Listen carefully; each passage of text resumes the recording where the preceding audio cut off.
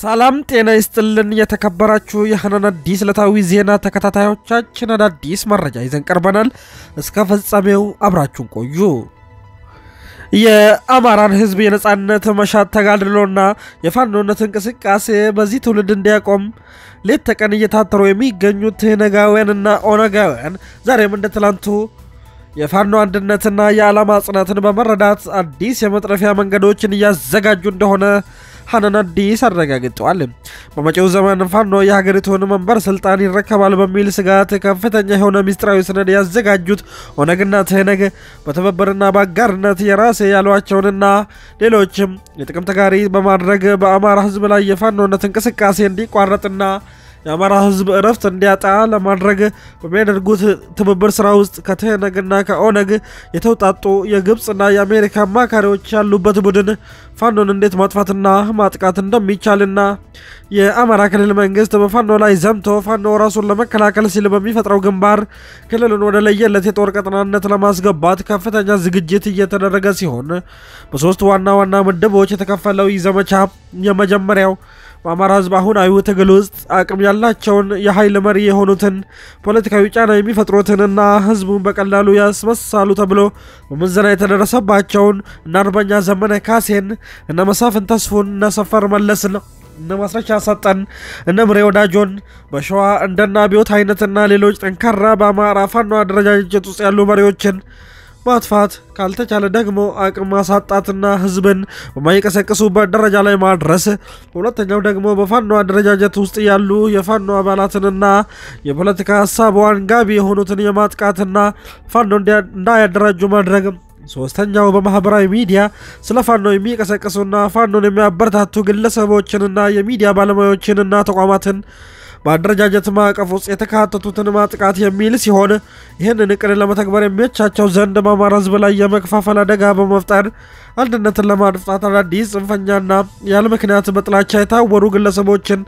ከአማራ ማህፀን ውስጥ በመፈልፈል አደረጃጀት ፈጥሮ የአደረጃጀቱ መሪዎች እንዲሆኑ ማድረግ የሚል ሲሆን አሁን ላይ የአማራን ህዝብ በጎጥ ለመክፈል እየፈሰሰ የሚገኘው ራብጣ ሚሊዮን ዶላር አማራን በተራዘመ ሂደት ውስጥ የመከፋፈል የኦነግ የትህነግ በግብፅና በአሜሪካ የሚደገፍ ሴራ መሆኑን ማንም የአማራ ህዝብ ሊያውቅ ይገባል ሲሉ የሐናን አዲስ ምንጮቻችን አስረድተውናል። ካለፈው መጋቢት ወር ወዲህ በአማራ ፋኖ ላይ እየተካሄደ ያለው ሁሉን አቀፍ የጥቃትና መጥፋት ዘመቻ የዚህ ፕሮጀክት የመጀመሪያ ምዕራፍ ሲሆን አሁን ላይ ይሄ ዘመቻ ተጠናክሮ እንደሚቀጥልና በግልና በመንግስት ማዕቀፍ ውስጥ የተካተቱ በርካታ ፋኖን የማጥቃት ፖሊሲዎችም ወደፊት በአማራ ህዝብ ላይ ሊተገበሩ እያኮበኮቡ ይገኛሉ ሲሉ ምንጫችን የሐናን አዲስ አስረድተውናል። በመሆኑም መላው የአማራ ህዝብ ፋኖነትንና ፋኖ ሆኖ ፋኖነትን አስጠብቆ ለማቆየትና የተረከበውን የፋኖነት አደራ ወደ ቀጣይ ትውልድ ለማስተላለፍ ከነ ክብሩና ከነ ፖለቲካዊ አቅሙ ከነ ፖለቲካዊ አቅሙ ፋኖን እያጠናከረና በተለያየ መንገድ የትግል አድማስ አስፍቶ አማራነትን በአንድነትና በጽናት እንደ አያቶቹና እንደ አባቶቹ ማቆየት ይጠበቅበታል ሲሉ ምንጫችን የሐናን አዲስ አስረድቶናል። በተያዘ አሁን ላይ ለውጥ ለውጥ እያለ የለውጥና የመልካም እሳቤ መንገዶችን የሳተ የብልጽግና አስተዳደር የትህነግን የጎሳ ህገ መንግስትና የብሔር ፌዴራሊዝምን የመጨረሻውን ውጤት እያየ ነው ሲሆን የአብይ አህመድ አስተዳደር የትህነግን የጎሳ ፖሊሲ በፌዴራሊዝም ሽፋን ይዞ መቀጠሉ ዜጎች ዋጋ እያስከፈላቸው መንግስታዊ ሽብር ተጠቂ እንዳይሆኑ እያደረጋቸው መሆኑን የአማራና የጉራጌን ህዝብ ማየት ምስክር ነው። የብልጽግና ፓርቲ በኢትዮጵያ የጉራጌና የአማራ ተወላጆች ላይ በሰላማዊ መንገድ ራስን በራስ የማስተዳደር ጥያቄ በማቅረባቸው የወሰደውን የኃይል አጸፋ እርምጃ ሊያቆምና እንደገና ሊመለከት ይገባል የሚሉት የሐናን አዲስ ምንጮቻችን በአደባባይ ጦር ሰባቂዎች ድንበር ጥሶ እንዲገቡ በማድረግና በንጹሐን አማራዎች ላይ የዘር ጭፍጨፋ እንዲፈጽም በማድረግ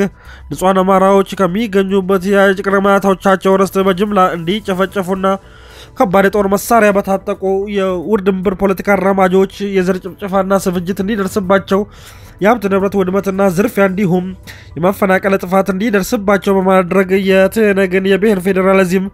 እና የጎሳ ፖለቲካ የሚያራምደው የብልጽግና አስተዳደር ዛሬም ለአማራ ሕዝብ ምቹ የሆነ የፖለቲካዊ መስመር ባለማስመሩና ምቹ የሆነ መንገድን እየተከተለ ባለመሆኑ አማራው ራሱን ከእንደዚህ አይነት ዘመን አመጣሽ ጥፋቶች ሊከላከልና ራሱን ከታሪካዊ ጥፋት ሊያድን ይገባል ይላሉ ምንጫችን ሲያስረዱ።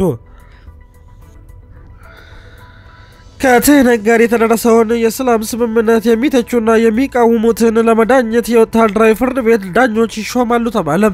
ሀናን አዲስ ከሁለት ቀን በፊት ሲወተውተው እንደነበረው ይህ ተሻሽለው የቀረበው የመከላከያ ሰራዊት አዋጅ መከላከያ ሰራዊቱ የሚመራበትንና ከተቋሙ ወቅታዊ ግዳጅ ጋር የሚጣጣም ተብሎ እንዲሁም የወደፊቱን ግዳጅ ታሳቢ ያደረገ የህግ ማዕቀፍ በማስመለጉ የቀረበ ነው ይላሉ ምንጫችን። በመከላከያ ሰራዊት ውስጥ የሚቋቋሙት ወታደራዊ ፍርድ ቤቶች ቀዳሚ ወታደራዊ ፍርድ ቤትና ይግባኝ ሰሚ ወታደራዊ ፍርድ ቤት የተባሉ ሁለት ደረጃዎች ያሉት ነው።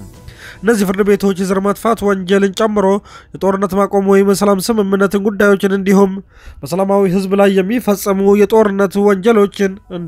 እንዲዳኙ ስልጣን የተሰጣቸው ናቸው። የእነዚህ ፍርድ ቤቶች ዳኞችን ስነ ምግባር፣ የስራ አስፈጻጸም፣ ጥቃት ተጠያቂነትና ነጻነት የሚከታተል ከወታደራዊ ፍርድ ቤት ዳኞች ሁለት ከመደበኛ ፍርድ ቤት ሁለት ከወታደራዊ አዛዦች አንድ በድምሩ አምስት አባላት ያሉት የስነ ምግባር ኮሚቴ እንዲቋቋም ረቂቁ ሰፍሯል ይላሉ ምንጫችን ሲያስረዱ። አሁን ወታደራዊ ወንጀል እየሰሩ ያሉትን የኦነግና የትህነግ ከፍተኛ አመራሮችን ለመዳኘትና ሀገሪቱ ወደ ሰላማዊ መንገድ ለማምጣት ከሆነ እሰየው የሚሉት የሀናን አዲስ ምንጫችን ነገር ግን ይሄ መሰሪና ውስጣዊ ራ የሆነው ረቂቅ አዋጅ በወልቃይትና በራያ ጉዳይ እንዲሁም በሌሎች የአማራ የእርስ ጥያቄ ያለባቸው አካባቢዎች ላይ የትህነግና የኦነግን ወረራ ለመቀልበስ አማራው በሚያደርገው ተጋድሎና ከወልቃይትና ከራያ ምድር መከላከያውና ልዩ ኃይሉን ለማስወጣት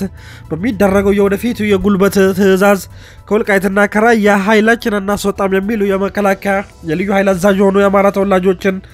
የጦር ወንጀል ፈጻሚ ወይም ወታደራዊ ትእዛዝ ጣሺ በማለት እነሱ ለመጠነግና ከወልቃይትና ከራያ ምድር አማራውን ነቅሎ ለማስወጣት የታለመ እንደሆነ የሀናን አዲስ ምንጮቻችን አስረድተው እኛም ከሶስት ቀን በፊት ዘግበነው ነበረም። ተሻሽሎ ለሕዝብ ተወካዮች ምክር ቤት ቀረበ የተባለው የመከላከያ ሰራዊት አዋጅ የመከላከያ ሰራዊት በምድር በአየር ኃይል በባህር በሳይበርና በጠፈር መዋጋት የሚችል መልኩ ይደራጃል ይላል። ወታደራዊ ፍርድ ቤቶችን የሚመለከተው የረቂቅ አዋጁ ክፍል አምስት በመከላከያ ሰራዊት ውስጥ የወታደራዊ ፍትህ ስራ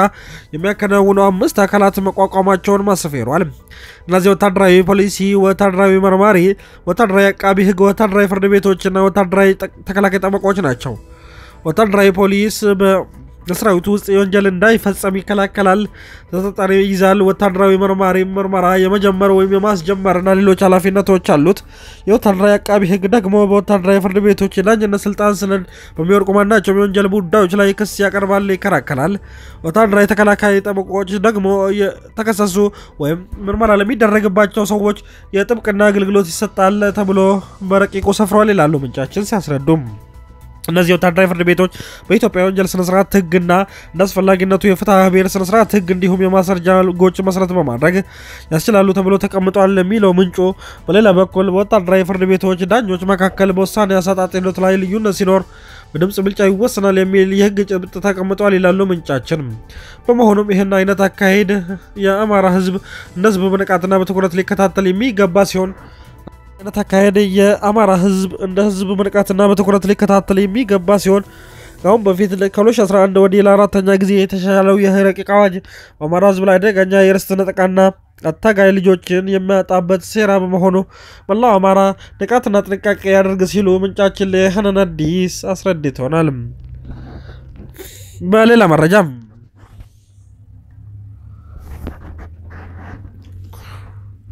ከብልጽግና በላይ ኢዜማ ጋር መጣላት ከባድ ዋጋ እንደሚያስከፍል ለመረዳት የታምራት ነገራን ስደትና የአቶ ታዲዮስ ታንቱን እስራት መመልከት በቂ ነው ሲሉ አንድ የሀናን አዲስ ምንጫችን በማህበራዊ ትስስራቸው ያሰፈሩትን እናጋራችሁም። የሚጠሉ ለህዝብና ለሀገር እናስባለን የሚሉ ለዲሞክራሲና ለነጻነት የሚታገሉ ወገኖች እስራትና ሞትን ፈርተው ወደ ውጭ ሀገር ከተሰደዱ በኋላ አንዳንዶች ኢሳት የሚባል ሚዲያ መስርተው ጋዜጠኞች ሆኑ። አንዳንዶች የትግል ድርጅት ፈጥረው የነጻነት ታጋዮች ተባሉ። በትህነግ ወንበር ላይ ብልጽግና በተቀመጠበት ጊዜ ፖለቲከኞቹ የምንፈልገው ስርዓት መጥተዋል በሚል ድምዳሜ ወደ ሀገራቸው መጥተው ኢዜማ የሚባል high copy ፓርቲ ከመሰረቱ በኋላ በተቃዋሚነት የገቡትን ግዙፍ በእርሻና በርባና የለሽ ወንበርና ጥቅም ለወጡም። ወደ ሀገራቸው መምጣት ያልፈለጉት ጋዜጠኞች ደግሞ የገዢው ፓርቲ አንድ ሊሆኑ ፈርመው በስማቸው የሚጠራ የኮንዶሚኒየም ቤትና ባለ መሬት ተሰጡም። ከዚያም የህዝብ ዓይንና ጆሮ በሚል ሚዲያ ያለፈውን ስርዓት ሲያጠለጥሉና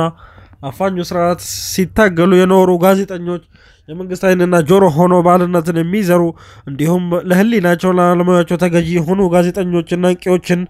የሚያሳስር ሆኖም የመንግስት ፍልሳን የሆኑት የፋናና የኢቲቪ ጋዜጠኞች እንኳን የተለያየ ሀሰተኛ ዶክመንተሪዎችን እያዘጋጁ የእውነተኛ ጋዜጠኞችንና ፖለቲከኞችን ስም ማጠልሸት ባቆሙበት ዘመን ከብልጽግና ካድሬዎች በላይ የገዢው ፓርቲ አገልጋዮች ሆኖ መገኘት በሚሹ ይሳትና የግንቦት ሰባት ኃይሎች የሚዲያ ዘመቻ ለህዝባቸውና ለራሳቸው የታመኑ ወገኖች ይታሰሩ ጀመር።